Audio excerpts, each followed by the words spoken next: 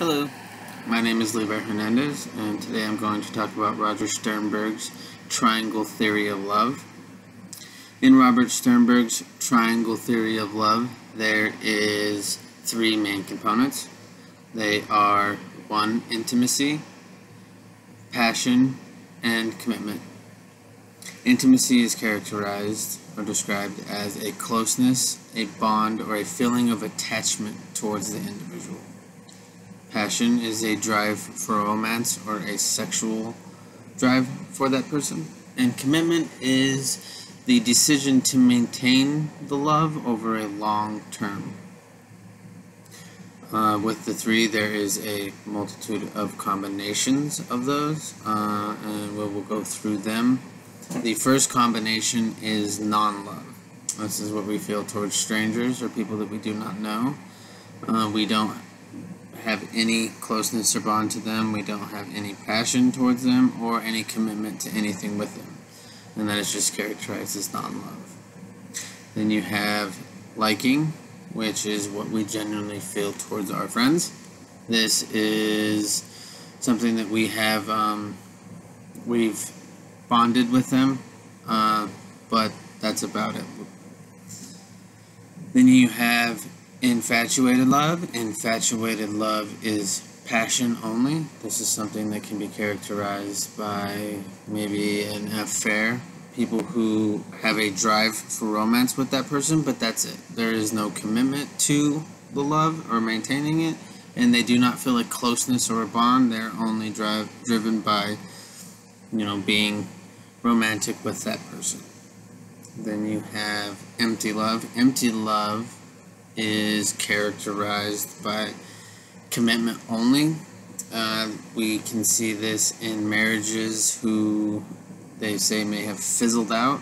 There is no more closeness, no more bond.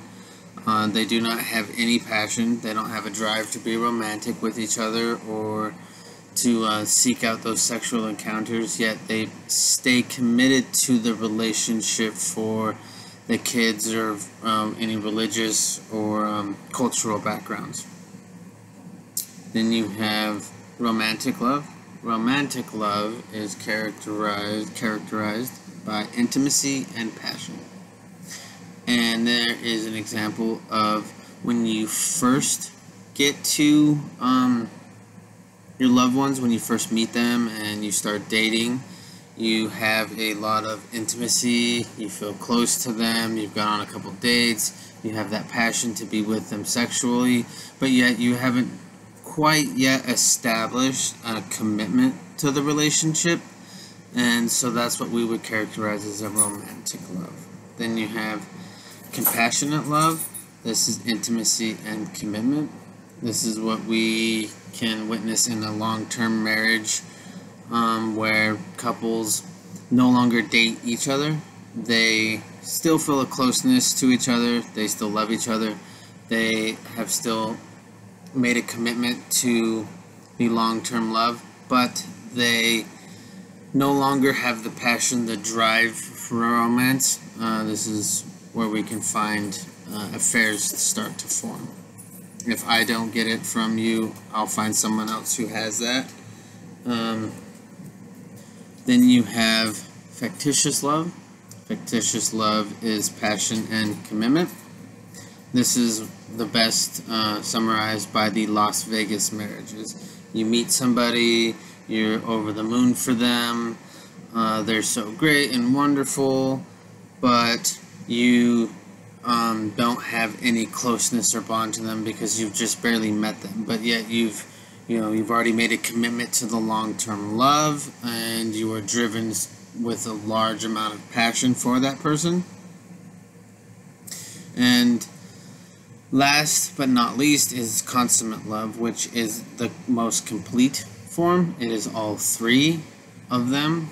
Uh, it's also the hardest form to maintain obviously.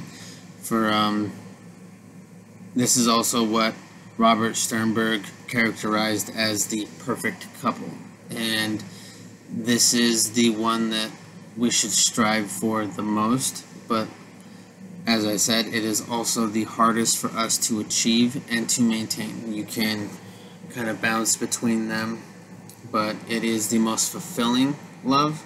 And um, yeah, that's it. Thank you.